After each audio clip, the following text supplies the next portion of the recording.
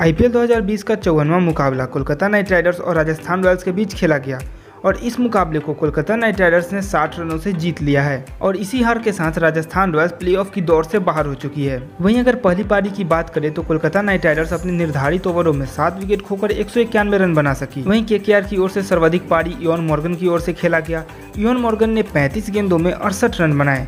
उसमें पाँच चौके और छः छक्के शामिल थे। वहीं इनके अलावा शुभमन गिल ने 36 रन, नीतीश राणा ज़ीरो, राहुल त्रिपाठी उनचालीस, Sunil Narine zero, Eoin Morgan अड़सठ, कार्तिक ज़ीरो, रसेल 25 और पैट कमिंस 15 रन बना सके। वहीं अगर दूसरी पारी की बात करें तो एक रनों के लक्ष्य का पीछा करने उतरी राजस्थान रॉयल्स की टीम 9 विकेट खोकर 131 रन ही बना सकी। और हार का सामना करना पड़ा। राजस्थान रॉयल्स की ओर से रॉबिन उतप्पा ने छह रनों की पारी खेली।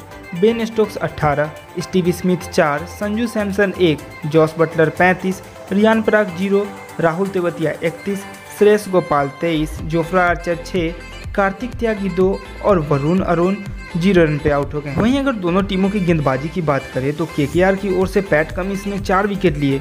वहीं शिवम मावी ने दो विकेट लिए वरुण चक्रवर्ती ने भी दो विकेट लिए सुनील नारायण को एक भी विकेट नहीं मिल पाए। वहीं कमलेश नागर को, नागर कोटी ने एक विकेट लिए। वहीं अगर राजस्थान रॉयल्स की बॉलिंग की बात करें तो जोफ्रा आर्चर और श्रेयस गोपाल को एक एक विकेट मिला। अरोन और स्टोक्स को एक भी विकेट नहीं मिल पाया। वहीं कार्तिक त्यागी को दो विकेट मिले और सबसे अधिक राहुल तेवतिया ने तीन विकेट लिए। तो दोस्तों, आज की इस वीडियो में बस इतना ही। मिलते हैं नेक्स्ट वीडियो में। अगर आपको हमारी आज की ये वीडियो पसंद आई हो तो इस वीडियो को लाइक करें शेयर करें कमेंट करें और अगर चैनल पर पहली बार आए हैं तो चैनल को सब्सक्राइब कर दें और बेल आइकन दबा दें जिससे कि आपको हमारी आने वाली हर एक वीडियो की लेटेस्ट अपडेट मिलती रहे। Thanks for watching this video guys